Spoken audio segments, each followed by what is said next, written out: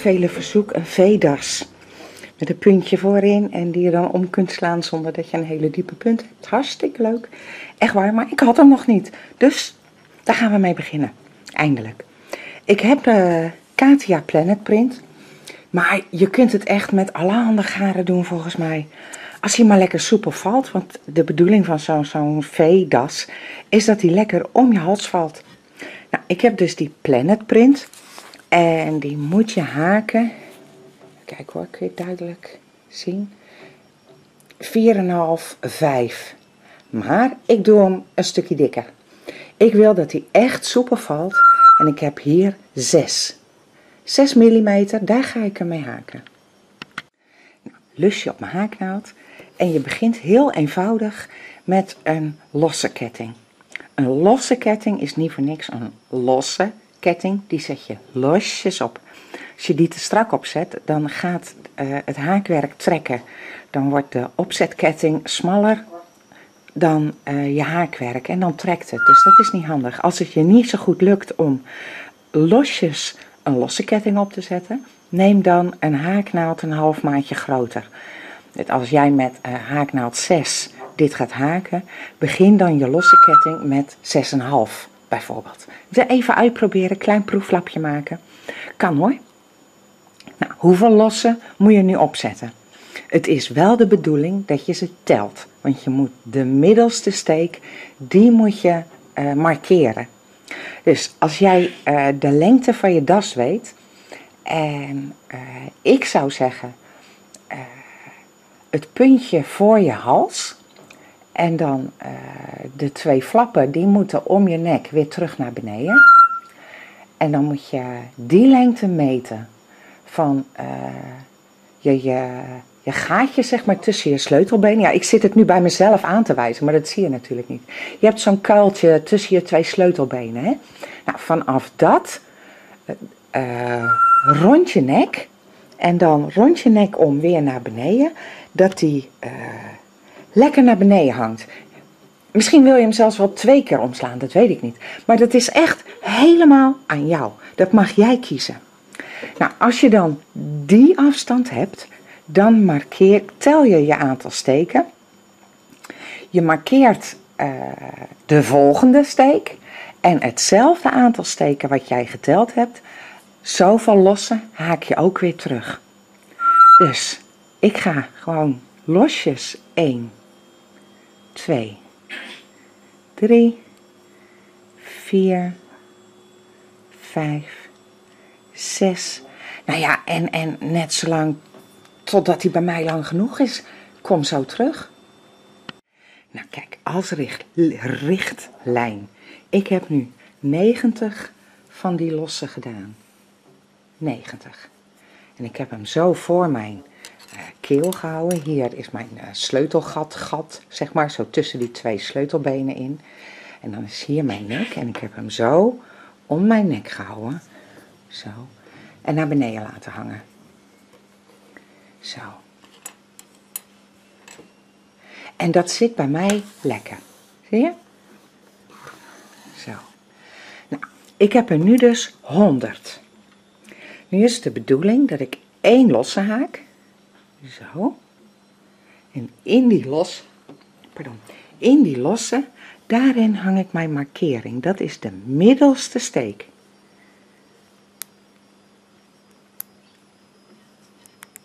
Zo. En dan haak ik nu weer 100 lossen. Zodat ik in totaal 201 lossen heb. 100 aan iedere kant van de markering en eentje in het midden. Dus ik ga weer tot 100 tellen. Nou, 100 stuks. Dus ik heb nu in totaal hier 201 lossen. Nou, als eerste ga ik een rijtje vaste doen. Om met mijn eerste vaste te beginnen doe ik één losse om mijn draad omhoog te brengen. En dan in het bubbeltje van de tweede steek hier. Daar achterin, daar steek ik in en ik maak mijn vaste. Je hebt een veetje hier steeds, hè? En als je hem dan omdraait, zie je daar een bobbeltje zitten. En daar steek je in. En je kunt met je vinger helpen om je haaknaald er onderdoor te krijgen, zodat je hem erop wipt. Maar als je losjes genoeg gehaakt hebt, dan krijg je die haaknaald er echt wel onderdoor. Probeer het maar, want het effect is zoveel mooier als je dit als eerste zo doet. Dan krijg je aan de onderkant van je sjaal, dus aan de buitenrand, krijg je ook zo'n mooie veetjesrij, net als straks op het eind. Probeer het maar. Als het niet lukt, is helemaal niet erg hoor. Dan steek je gewoon in zoals je normaal gesproken bij een losse doet. Dan steek je gewoon zo onder een lusje door. En je maakt je vaste. Kijk, als je dit zo doet. Ik zal er een paar doen. Dan krijg je een ander effect. Zie je dat? Die laatste drie steken hier ziet er anders uit als het begin van mij. Ik vind dit, dit vind ik mooier, het begin. Maar het kan wel gewoon. Dus probeer maar. Ik haal deze drie even uit.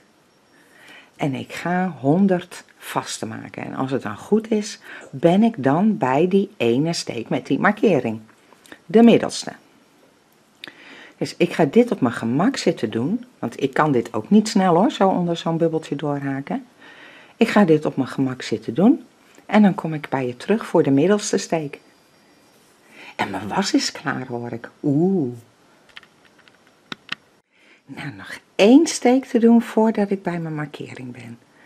Dus in die laatste voor mijn markering, daar doe ik nog een vaste. Dan haal ik mijn markering eruit, want in de volgende komen er drie.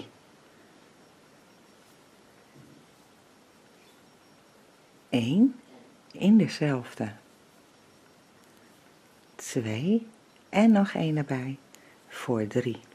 En dan voor mijn gemak zet ik in die middelste, in de tweede, daar zet ik mijn markering terug, zodat ik straks op de terugweg precies de middelste steek aan kan houden. Nou, en nu ga ik gewoon weer verder met vasten tot het eind van de rij. Vergeet vooral die volgende niet, want die kan dus een beetje weggetrokken zijn doordat je hier drie steken in gedaan hebt. Maar daar moet er ook echt nog één in. Zo. En dan worden dat er weer honderd. Je gaat gewoon weer verder. Als ik nou een paar doe, kan ik je het effect laten zien.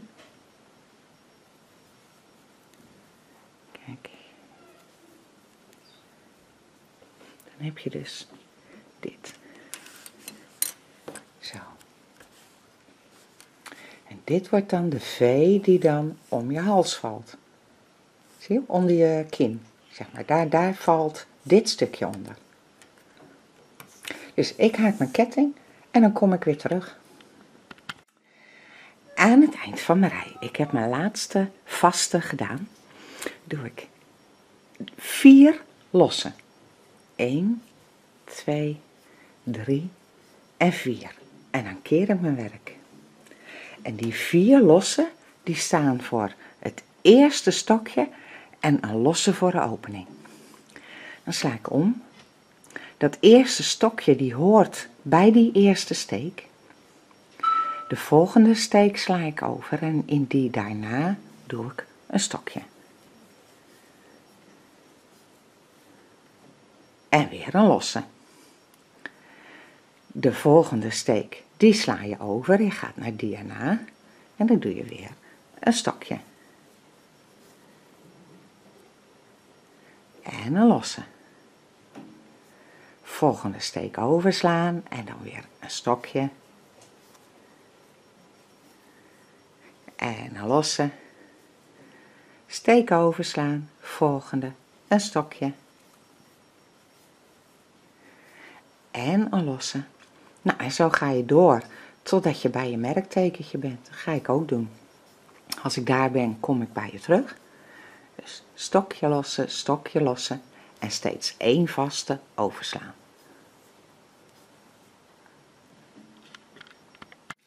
Nou, als je dan dat hele stuk gedaan hebt, tot aan je markeerder, dan heb je nog een stokje gedaan in de steek voor je markeerding. Die haal ik er nu even uit, want ik ga daar nu in haken. Maar na dat laatste stokje doe ik geen losse. Dus ik heb hier nog een open vakje, een stokje gedaan en nu geen stokje. Maar in die steek van die markering doe ik drie stokjes. 1, 2 en 3. En in het tweede stokje daarvan, dus de middelste van die drie, daar doe ik mijn markering in terug. Zo. En dan ga ik het patroon weer opnieuw beginnen. De volgende steek, hier, daar komt het stokje in. Een losse, vaste overslaan en in de volgende weer een stokje. Dan blijf je het patroon weer herhalen. Dus losse stokje, losse stokje, vaste overslaan, losse stokje. Stokje lossen, net wat jij, uh, hoe jij het prettig vindt in je hoofd om te zeggen. Ik zeg het altijd in mijn hoofd mee, hè. Zo stokje, lossen, vaste overslaan. Stokje, lossen, vaste overslaan. Ja, zo zit, zo zit ik dan in mijn hoofd. Nou, doe dit dan tot het eind van de rij. En dan uh, zie ik je daar weer terug. Hè. Dan heb je dit zo als punt onder je hals. Nou, ik ben aan het eind van mijn rij. Kijk, en dit heb ik nu. Even kijken hoor. Zo zit hij zo. Zie je? Dit. En dit valt dan zo in je keel en deze flappen die gaan om je hals zo, om je nek, naar beneden terug. En dan echt, dan is het aan jou van hoe lang wil je dat hebben en voor wie is het bedoeld. En dat is precies als met de breedte die we nu gaan haken. Want we zijn bij de herhaling van het patroon echt heel, echt heel makkelijk. Je doet één losse, je draait je werk en nu krijgt iedere steek een vaste, behalve die met de markering, daar komen er drie in. En dan in de tweede, daar zet je je markering weer terug. Dus ook het eerste stokje, daar doe je een vaste in. In de open ruimte, een vaste. In het stokje, een vaste. Open ruimte, stokje. En dan krijg je dit. En de volgende rij is weer net als wat we net gedaan hebben. Stokje losse vaste overslaan, stokje losse vaste overslaan. En in het midden doe je ook weer net als net drie stokjes. Nou ja, en, en ja, wat ik net zei, hoeveel rijen ik ga doen, ja, dat weet ik nog niet. Ik moet kijken, hoe valt het mooi, hoe zit die lekker en wat vind ik leuk. Dat is gewoon echt zo persoonlijk net als het garen wat je neemt. Ik, ik heb hier dan, dan die, die planet van, van, van uh, Katia. Met die heleboel kleuren erin. Maar misschien wil je het maar met één kleur doen. Of je wilt uh, de vaste rijen een kleur geven en de stokjesrijen een kleur geven. Dat kan ook. Dat is gewoon, uh, ja, dat kan allemaal. Wat jij wil. Echt waar. Dat, dat is echt een vrije keus. Nou, ik ga mijn rijen haken. En als hij voor mij breed genoeg is, dan kom ik terug om, om te vertellen van nou, zoveel heb ik er gedaan. Maar dit is de herhaling. De stokjesrij, de vaste rij. Stokjesrij, vaste rij. Stokjesrij, vaste rij. En die stokjes is dan stokje lossen, hè? Stokje lossen, stokje lossen. En je slaat één steek over. En dan, uh, ja, iedere steek een vaste. Ik zie je terug, of jij ziet mij terug als mijn uh, sjaal klaar is. Dus uh, ja, voor jullie tot straks en voor mij uh, tot over een poosje. Nou, ik ben uh, een losse ketting aan het haken. Kijk, gewoon met, met een eurobol en haaknaald 4 mm nu. Omdat dat beter bij die eurobol past. Maar ik haak wel losjes. Ik heb vijf van die rijen gedaan van vaste en stokje lossen, stokje lossen. En toen weer een rij vaste. Ik ben geëindigd met een rij vaste. En ik heb losse kettingen er doorheen geweven. Door die open stokjes rijden. Ik ben gewoon losse aan het haken. Ik tel ze niet. ik meet alleen ongeveer van, nou, nu is hij wel bijna lang genoeg. Dat hij hier doorheen geweven gaat worden zo. Ik heb nog één rij opengelaten om te laten zien. Als je dan van de ene kant naar de andere kant meet, ongeveer lang genoeg. En dan er doorheen weven en dan om en om.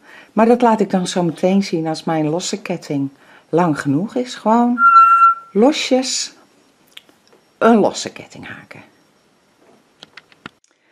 Nou, ik heb hem er zo uh, overheen gelegd. Zo een beetje. En ik kom wel ongeveer tot het eind. Nou, trek ik mijn lusje een beetje uit. Dat hij niet uitschiet. En ik heb hier een lekkere dikke naald. Daar kan ik mooi mee weven.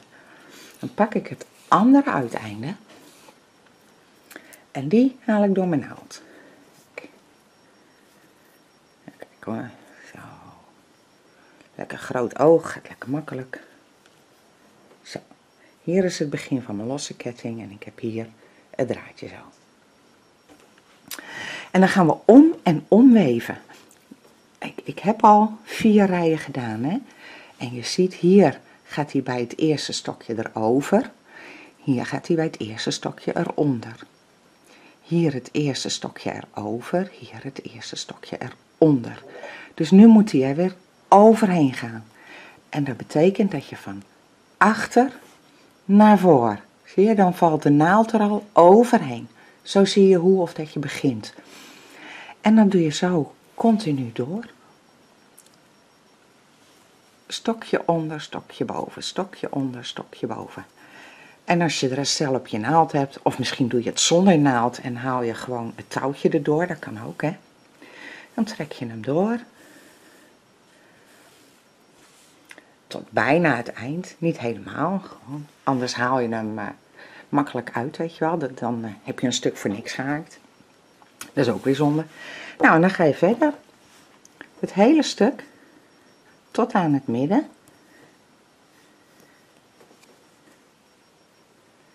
En bij het midden kom ik weer bij je terug om te laten zien hoe of dat je die stokjes daar dan weer doorweeft. Want hier zit geen opening tussen, hè? dat moet je zelf verzinnen daar. Kom ik in het midden bij je terug. Nou, het midden. Kijk, ik heb hier nog één zo'n gat, hè. Daar moet ik overheen. Zo het volgende stokje hier, ik achterlangs, dan het volgende stokje overheen, volgende stokje achterlangs, volgende stokje overheen en dan weer achterlangs. En dan ben je het midden voorbij. En daar trek ik dan gewoon mijn draad weer doorheen. Zo simpel. Gewoon om en om. Alleen ja, de stokjes zitten dan dichter bij elkaar, hè. Nou, en dan kun je zo weer doorweven. Precies hetzelfde doorgaan. Gewoon om en om, stokje over, stokje onder, stokje over, stokje onder. Zo. Je ziet het aan mijn naald, hè? Zo, stokje over, stokje onder, stokje over, stokje onder. Totdat je aan het eind bent, zie ik je daar weer terug. Het laatste stukje. Ik kan hier nog over het stokje heen, onder het stokje door, de laatste. En dan hier de zijkant, daar steek ik doorheen, door het stokje heen, tot aan de knoop van het begin van mijn losse ketting. Die knoop die zit hier tegen het stokje aan, niet er doorheen, maar er tegenaan. En dan steek ik met mijn draad, met mijn naald, in de losse ketting in.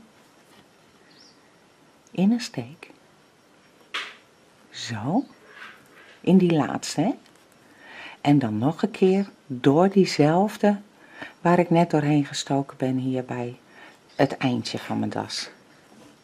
En dan zit er een voorzichtig knoopje in. Is echt minimaal, maar hij blijft dan wel zitten. Kijk. Zorg dat het staartje, dat knoopje niet doorheen gaat. Zie je, dan zit hij minimaal eraan vast. Kan de naald eruit. En nu moet uh, die losse ketting netjes verdeeld worden zo over je das. Dat hij niet te strak zit. Dus ik hou hem hier vast. En ik trek er een beetje aan zo. Nou, dit stukje zit netjes. Dus dan hou ik hem hier weer vast. En ik trek er weer een beetje aan.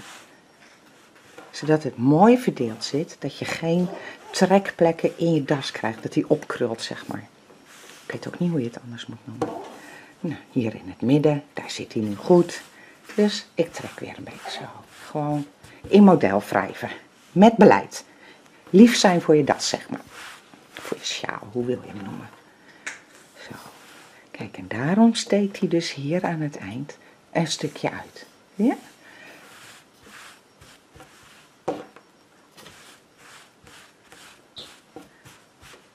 Nou, zo zit hij wel netjes. Ik heb een stukje over, dus ik knip het af. Met een staart. Heb je bij die andere ook wel gezien, hè? Ik heb lange staarten gelaten. En dan trek ik die laatste losse uit tot vlak voor uh, dit zijkantje. Dus met beleid uittrekken tot ik er ben. Zo. Dan knip ik ook deze staart af. En ik haal het lusje eruit. Dus dit is eigenlijk nog één keer doorhalen, maar die ene doorhaal die heb ik gewoon laten zitten. En ik trek eraan. Zie je, dan heb je ook hier het knoopje zitten.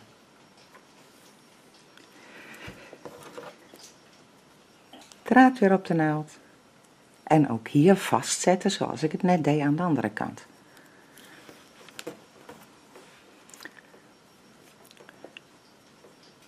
Hier door het zijkantje heen steken.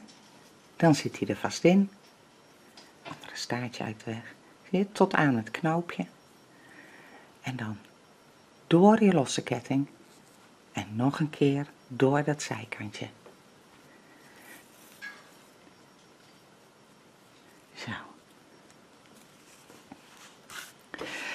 Dan kan ik deze staarten als franje gebruiken. En ook aan de andere kant. Als franje. En ik ga er nog uh, meer bij doen. Kijk, het zit maar provisorisch vast. Hè? Dat, dat uh, komt straks goed met die franjes. Maar ik denk dat ik van die, uh, die Katia Planet ook nog franjes ertussen maak.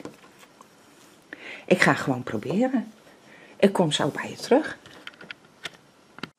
Nou, de franjes. Ik heb hier alvast uh, een bosje klaar liggen. Een haaknaald, een schaar en hier het uiteinde van mijn das. Kijk.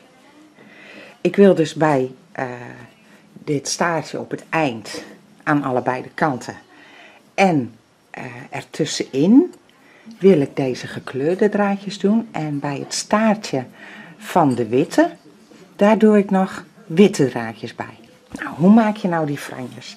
Ik heb er een aparte tutorial voor, maar ik dacht, ach weet je wat, dan moet je ook weer gaan zoeken. Ik laat met mijn witte nog even zien hoe of dat je die draadjes maakt. Ik heb hier uh, een mobiel. En ik heb hier 1, 2, 3, 4, 5 plekjes voor wit. En ik wil twee draadjes wit erbij doen. Dus ik moet 10 keer hier omheen. 2 keer 5 is 10. Dus staartje onderin houden. En je wikkelt er gewoon 1 keer, 2 keer, 3 keer, draad afhalen.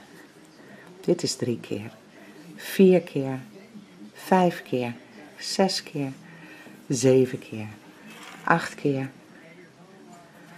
negen keer en tien keer. Dan heb ik tien van die draadjes. Dat is nu makkelijk, omdat ik gewoon makkelijk kan tellen van, nou, ik heb er zoveel nodig. Maar als je een heel groot project doet, joh, doet er een stel.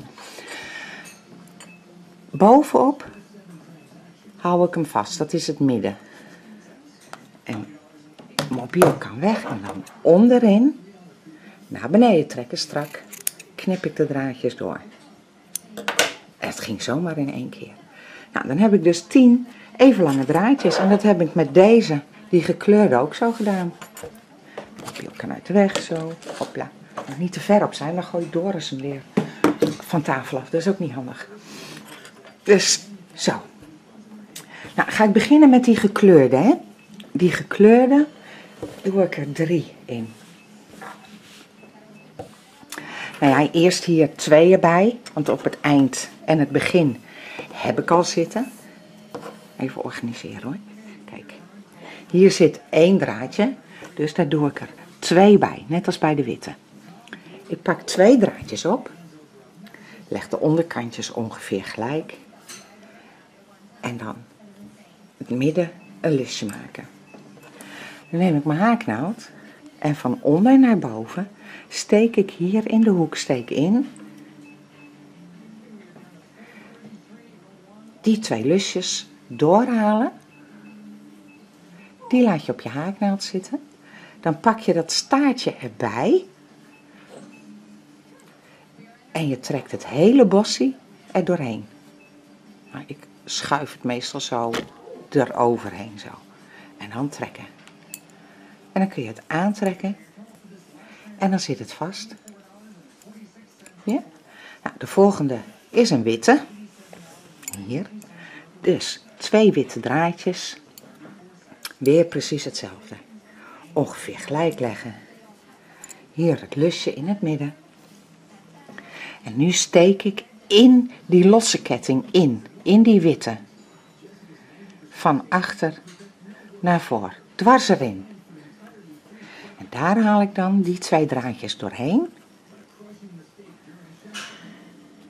En ik neem een staartje erbij en ook dit staartje van die losse ketting haal ik er doorheen. Zo. En aantrekken. In het midden. Daar wil ik die gekleurde draadjes, maar daar zit er nog geen één. Dus ik neem drie gekleurde draadjes. Eindjes ongeveer gelijk leggen. Dubbel vouwen. Ongeveer, hè. En dan in het midden insteken.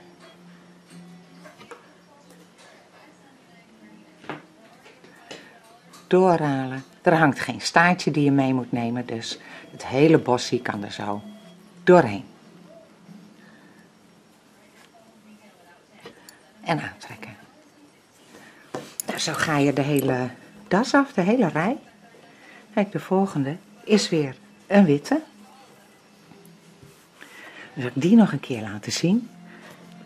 Twee, want er hangt al een staartje.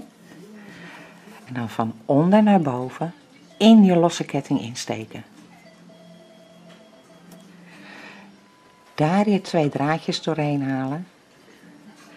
Het staartje erbij nemen en het staartje ook doorhalen. Zo. En helemaal doortrekken. Zo ga je de hele das af. Aan de ene en aan de andere kant. En dan, uh, als die klaar is, dan kom ik nog één keer bij je terug. Nou, als je ze dan allemaal gedaan hebt, dan kun je uh, met een grote schaar er langs gaan en in één keer alles precies op één lengte afknippen. Maar je kunt ook net als ik met een klein schaartje. Dit, deze das met die kleurtjes, die is best wel speels, weet je wel. Dus dat hoeft niet perfect. Dan hou je dat speelse effect ook in de franjes. Gewoon ongeveer. Dat ze bijna gelijk zijn. De ene is wat langer, de andere wat korter, maar het blijft speels zo. Maar heb jij hem heel netjes met hele mooie kleuren ik, ik noem maar wat uh, beige met donkerbruin, dan is hij heel stijlvol. En dan denk ik niet dat je dit, dit speelse zou moeten doen, maar dat je ze precies zo rechtaf moet knippen. Zo. Desnoods met een liniaal erbij. Ook dat kan, hè. Dan leg je ze zo plat neer. Erop leggen en dan kun je precies hier langs afknippen. Dat kan ook. Maar dit is dus uh, mijn V-das, mijn V-sjaal. En uh, ja, doe er wat mee. Het gaat om, om het model, het, het, het principe hier. Als ik even alle rommel opzij gooi, want het is best wel een grote das. Het gaat om het principe van die punt. En als je die punt weet, ja, dan kun je er verder op los fantaseren. Maak er wat van. Ik zou zeggen, laat zien op mijn Facebookgroep. Echt hartstikke leuk als je dat wil doen. vragen over, over tutorials, die kunnen ook gewoon op de Facebookgroep. Er zijn heel veel mensen die uh, hetzelfde haken als jij, of hebben gehaakt, tegen dezelfde problemen aanlopen. En die kunnen je dan helpen. Dus dat is gewoon super gaaf. En uh, ja, hoeveel heb ik gebruikt? Iets meer dan één bol van dit uh, Planet, Katia Planet. Iets meer dan één bol. En ja, een restje wit. Dit was een bol, maar ja, je ziet hoeveel er van over is. Kan ik weer wat anders mee doen. Maar dat ligt er ook aan hoe lang of dat jij deze zijstukken maakt en hoe breed of dat jij de das maakt. Daar, daar heeft het allemaal mee te maken. Welk soort garen, welke haaknaald enzovoort. Maar ik denk dat je met één bol een heel eind komt. Ik wens je heel veel haakplezier en ik zie je graag terug bij een volgende tutorial.